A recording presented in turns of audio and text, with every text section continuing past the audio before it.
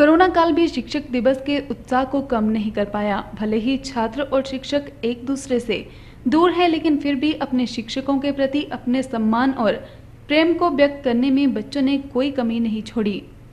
DAV Hamirpur के छात्रों ने अपने शिक्षकों को व्हाट्सएप के माध्यम से कार्ड तथा संदेश भेजे। साथ ही ऑनलाइन कक्षाओं में भी शिक्षक दिवस उत्साह के साथ मनाया गया। इस अवसर पर स्कूल के प्रधानाचार्य विश्वास शर्मा ने सभी शिक्षकों को बधाई दी और उनके कार्यों की सराहना करते हुए कहा कि कोरोना काल में भी नई तकनीक को सीखकर अध्यापकों ने बच्चों की शिक्षा को महत्व दिया। उन्होंने कहा कि शिक्षकों ने सुनिश्चित किया कि छात्रों के साथ अपने संबंध को और अच्छा किया जा सके ताकि बच्चे अपनी पढ़ाई को मन लगाकर करें। शिक्षक दिवस के उत्साह से स्पष्ट हो गया कि शिक्षक और छात्रों के बीच की ये दूरी उनके संबंधों के बीच में नहीं आ सकती।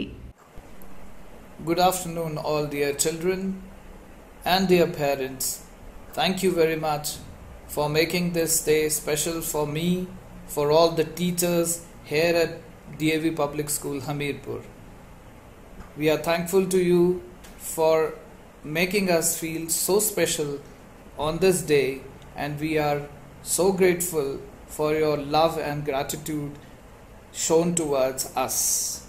And dear parents, Thank you for instilling these values in your children.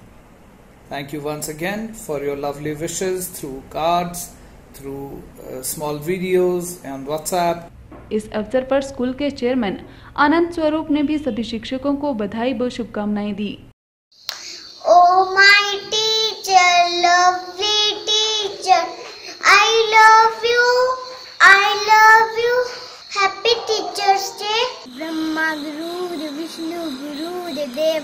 देवो महेश्वरा गुरु साक्षात ब्रह्मा तस्मै श्री गुरुवे नमः आप सबको बहुत बहुत शुभकामनाएँ आपको बता दें कि विश्व के कुछ देशों में शिक्षकों को विशेष सम्मान देने के लिए शिक्षक दिवस का आयोजन किया जाता है। कुछ देशों में छुट्टी रहती है जबकि कुछ देश इस दिन कार्य करते हुए मनाते हैं। भारत के भूतपूर्व राष्ट्रपति डॉक्टर सर्वपल्ली राधाकृष्णन का जन्मदिन 5 सितंबर भारत में शिक्षक दिवस के रूप में मनाया जाता है। उन्होंने अपने छात्रों से जन्मदिन को शिक्षक दिवस के रूप में मनाने की इच्छा जताई थी। दुनिया के सौ से ज़्यादा देशों में अलग अलग तारीख पर शिक्षक दिवस मनाया जाता है। देश के पहले उपराष्ट्रपति डॉक्टर राधाकृष्णन का जन्म 5 सितंबर अठारह सौ अठासी को तमिलनाडु के तिरुमनी गाँव में एक ब्राह्मण परिवार में हुआ था। वे बचपन से ही किताबें पढ़ने के शौकीन थे और स्वामी विवेकानंद से काफ़ी प्रभावित थे।